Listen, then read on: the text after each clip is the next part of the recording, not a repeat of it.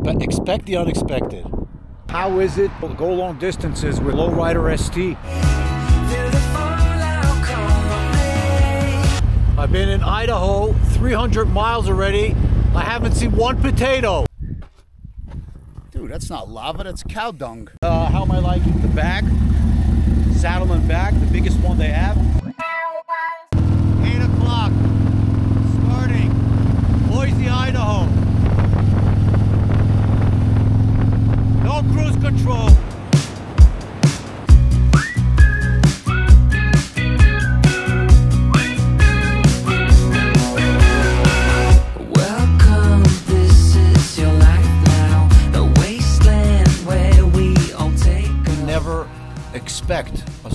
To be so cool because nobody talks about it.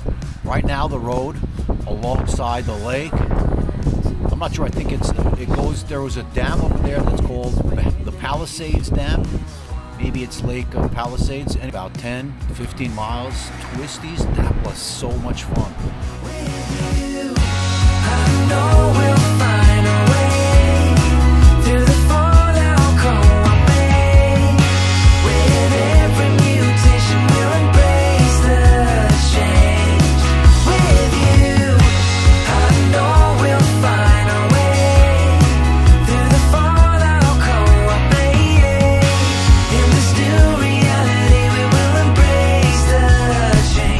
Chilly this morning. It's uh, 40 degrees. Waiting for Danny to refuel. His credit card is giving him trouble. So the ST, how is it to tour? How is it to do go, go long distances with uh, the Low Rider ST? That's very comfortable for me. Riding position is comfortable with my forward controls. Almost 3,000 miles already. I'm keeping up with the big boys, with the, with the baggers. No problem whatsoever.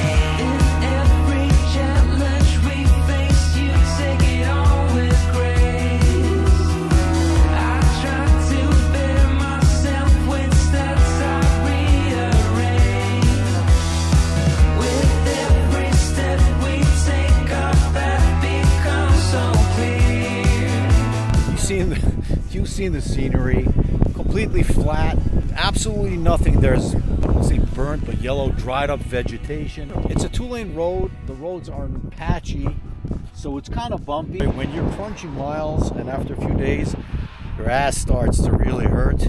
So you find every possible position to move around, to stretch your legs. One leg this, this way, the other one straight forward.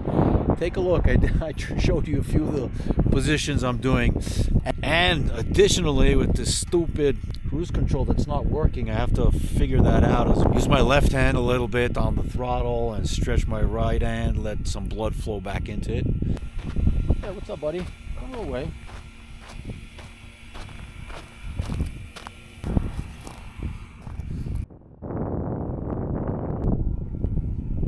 somewhere in Idaho, between here and there. We left Alpine and we're on our way to Boise. Boise sounds like Joyzy, Joyzy boys. Boise. Boise, Idaho. A lot of land. A lot of land over here.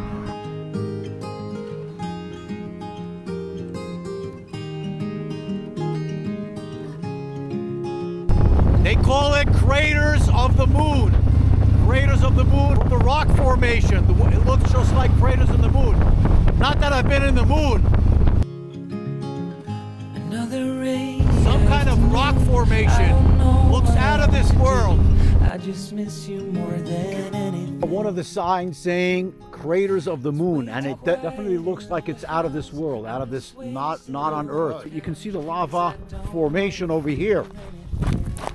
Look at the look this look at the lava layers. Oh, that's so cool. That is actually so cool. Lava rock, lava stone. Dude, that's not lava, that's cow dung. It was broken up and just dumped like a different planet. Erupted uh, and splashed all over.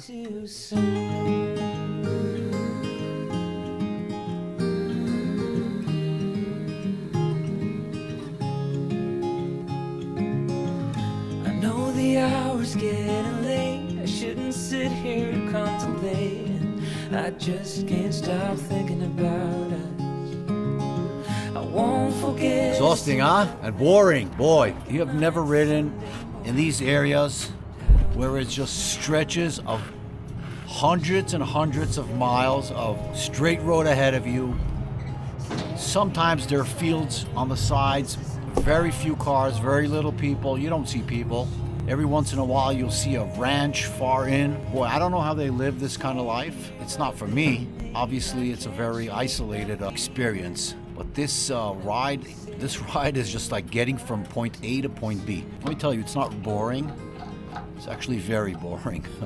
I've been in Idaho 300 miles already. I haven't seen one potato. Not potato patch, not potato field, not even Frito Lay potato chips. I don't know what's going on. Just got to Boise, Idaho. Actually rolling into High Desert Harley Davidson.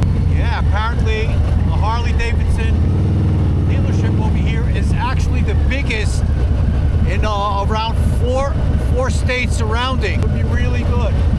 I called the service department, asked them if they could uh, check my bike. They said bring it in. Let's see how that works out. Oh,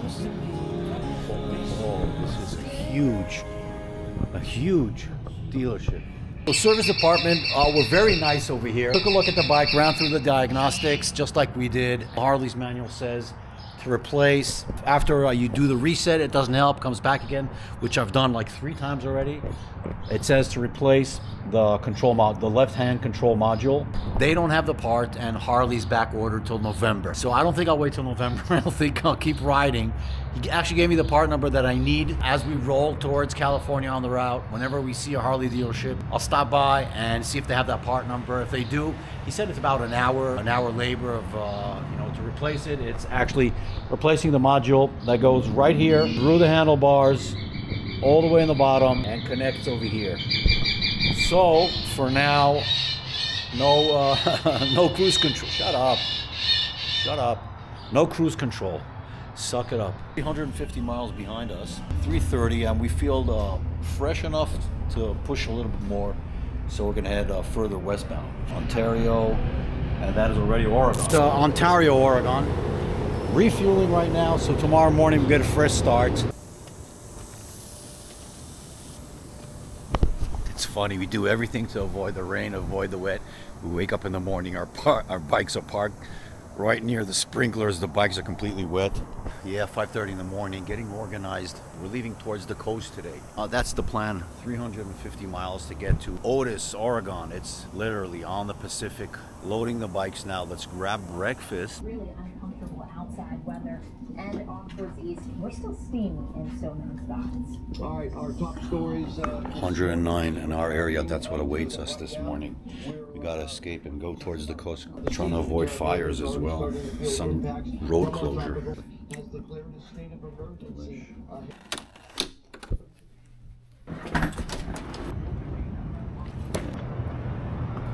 Let's go. Come on, let's go. Let's go. Let it warm up. Once we hit the coast, I believe and I hope temperatures are going to drop. About 350 miles today to get to Otis, relax for the day, and then continue southbound towards the Avenue of the Giants, California. Uh, how am I liking the bag? Saddlemen bag, the biggest one they have. It's serving me great. I actually think I should have taken a smaller one, just because I'm just I can I see that I overpacked.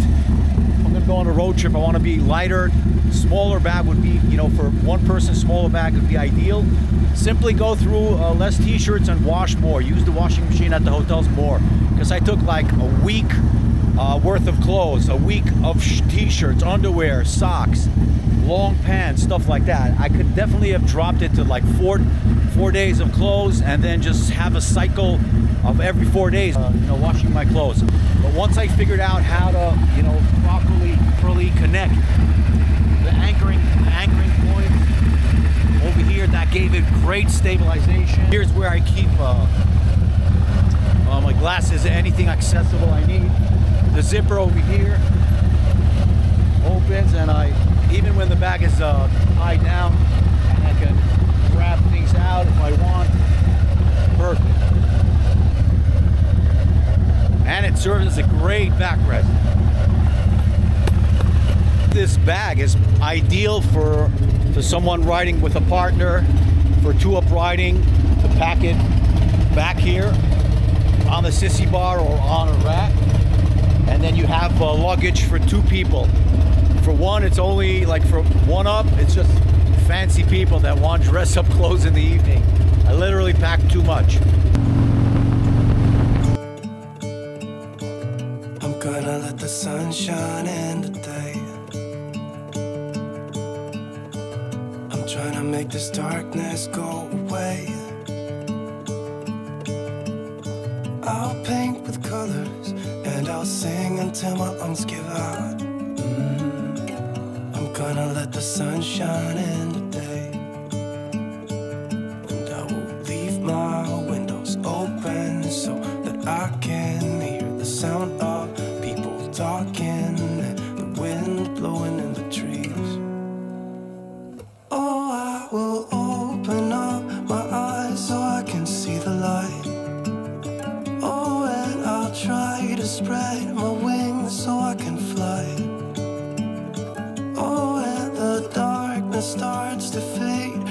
like things are gonna go my way.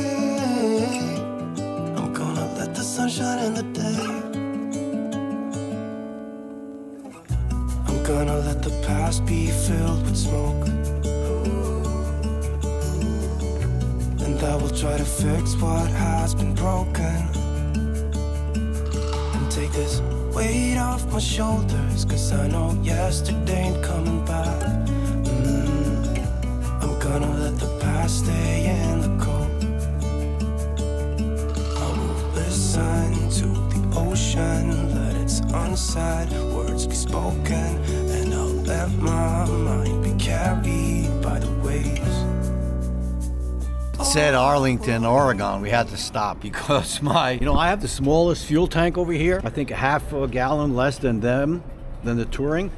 And it was showing, it was dropping 36. And when we pulled in over here, 21 miles, you saw that huge lake. There's absolutely nowhere to stop. So the first place we found, we just pulled in.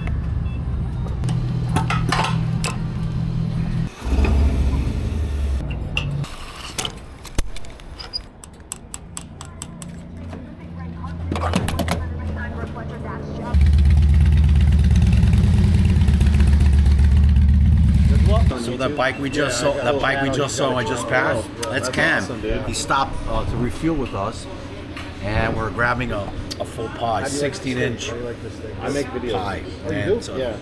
what is it called?